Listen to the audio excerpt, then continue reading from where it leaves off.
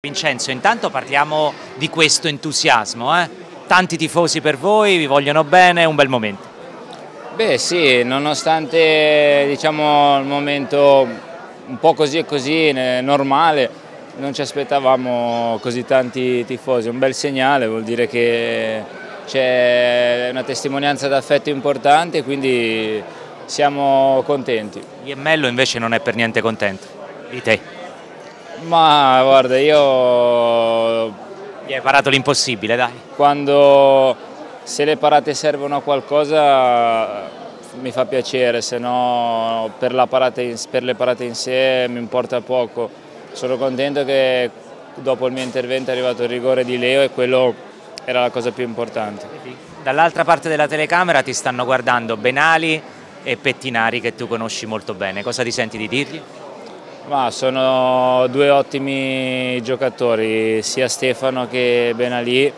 Eh, gli auguro di ritrovare mm, la vittoria non contro di noi, ma magari da, dalla partita dopo, però rimane la stima e l'affetto sia umana che, che calcistica. Ecco, secondo me sono due grandi giocatori per la categoria e a me ora sono contento che si sia ripreso bene dopo l'infortunio perché credo che in Serie B sia un lusso uno come lui. Anche perché Benalì all'andata ti ha fatto un bello scherzo da lontano?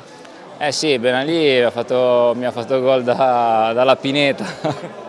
Speriamo che questa volta gli riesco io a negare la gioia del gol e, che possiamo portare a casa finalmente tre punti. Sei d'accordo nel dire che a Foggia si è vista una bella squadra compatta, con tanto entusiasmo, sapeva quello che voleva fare?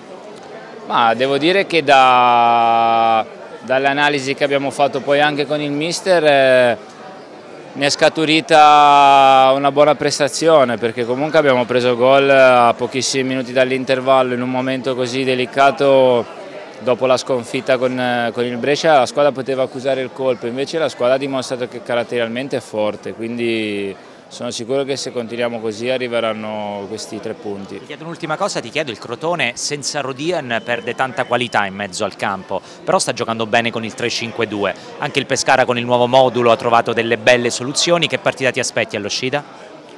Beh, sicuramente sarà una battaglia perché conoscendo quel campo e la situazione inaspettata che affrontano loro da, da un po' di tempo è una squadra di qualità ma adesso i punti iniziano a pesare quindi secondo me sarà una partita molto basata su, sugli episodi e rimarrà sul filo del rasoio.